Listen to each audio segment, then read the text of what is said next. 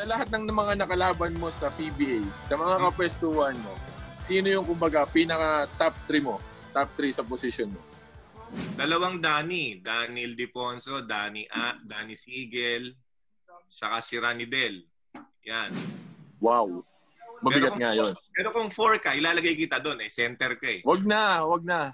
So, yun. Okay na ako sa five. Ano, si- si Danny ay kasi yan yung ano ko nilulook up ko nung ano ko sila ni Alvin Patrimonio sa ni Meneses. Yan yung mga nilulook up ko Okay. nung coach tayo.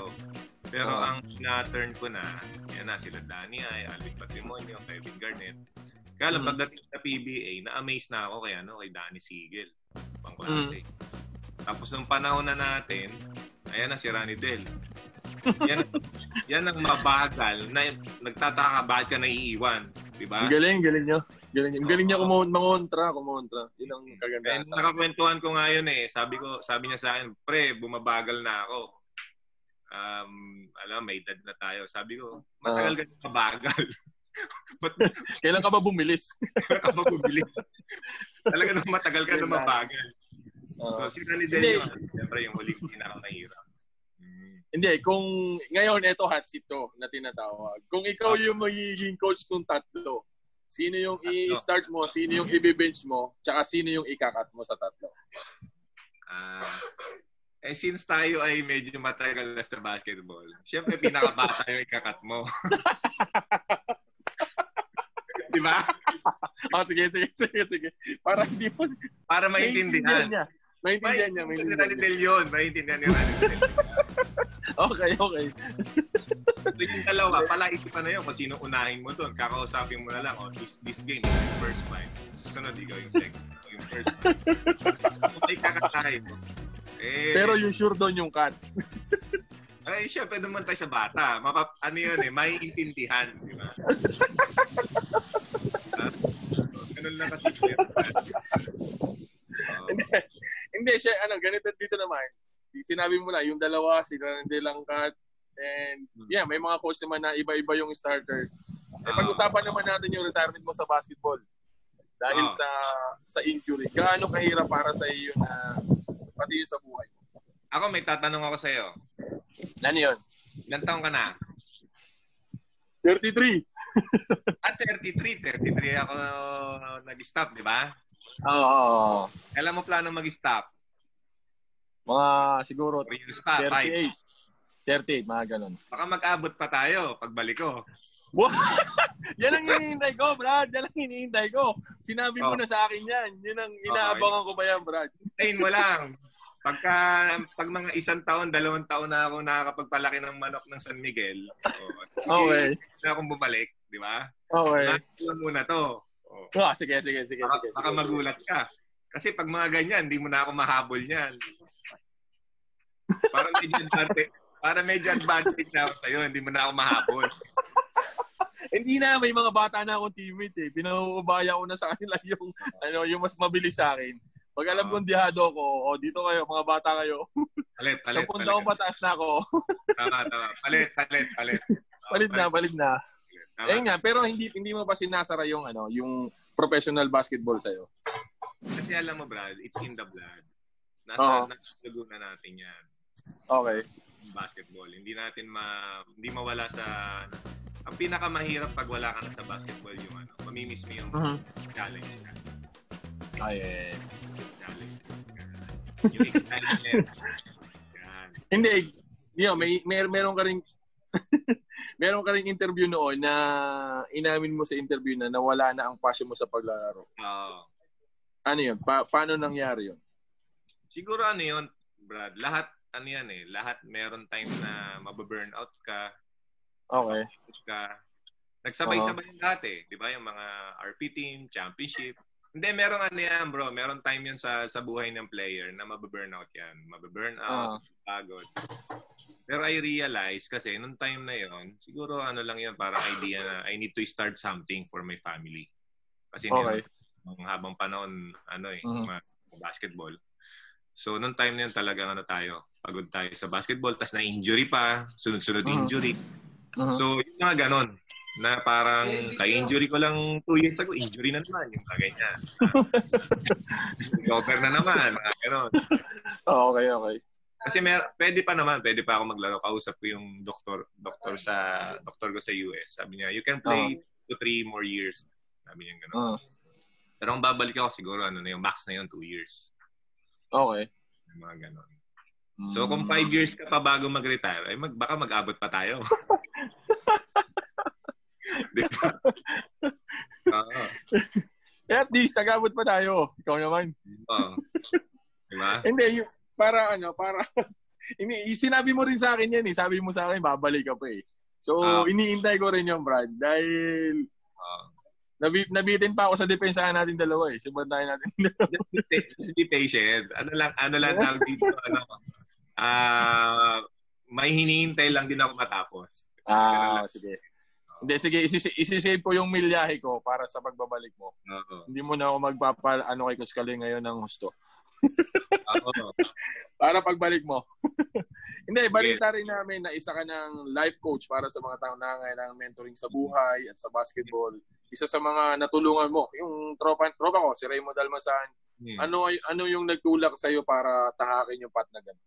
Well, we're talking about life, no?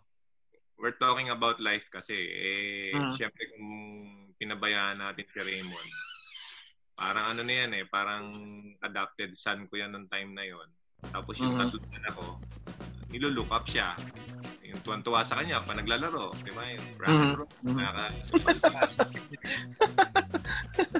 so, syempre, may gumawa rin sa akin nun eh. Ginawa sa akin ni Willie yun. Ginawa sa akin uh-huh. ni, ni Robert Gonzalez, yung nagpapastol uh-huh. sa So, parang sa akin, God God uh, put the desire in my heart to, mm-hmm. reach out also dun sa mga mga nakikita natin potential o kaya yung mm-hmm. mga nawawala sa sa linya. Mm-hmm. So, lahat naman tayo, meron time nawawala tayo sa sa uh, mm-hmm. the right path, di ba? So, mm-hmm. kataon lang ginamit tayo, instrumento tayo. Mm-hmm.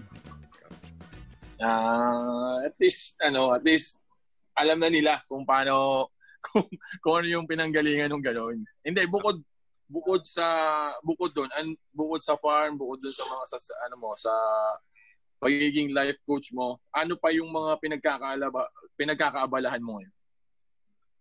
Ngayon, tumutulong sa church. Uh, okay.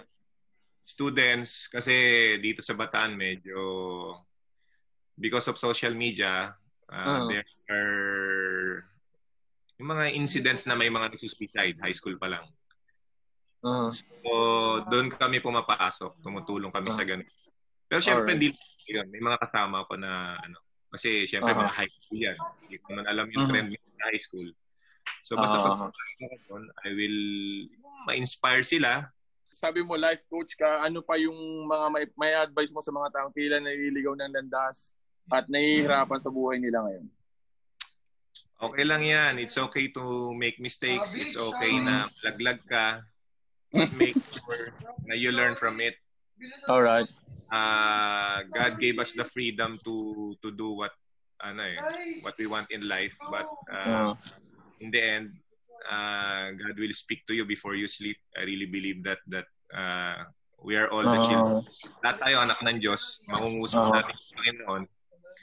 And uh, God loves you. Eh whether you're naughty or you're you're bad, you're good, mahal ka ng Panginoon, pantay-pantay ta, pantay-pantay tayo sa paningin niya. And he will okay. give you the chance to to do the right thing and uh-huh. to back to him para itama mo yung buhay mo. So simple as that. Uh, hindi ibig sabihin nasa baba ka ngayon, hanggang diyan ka na lang. All right.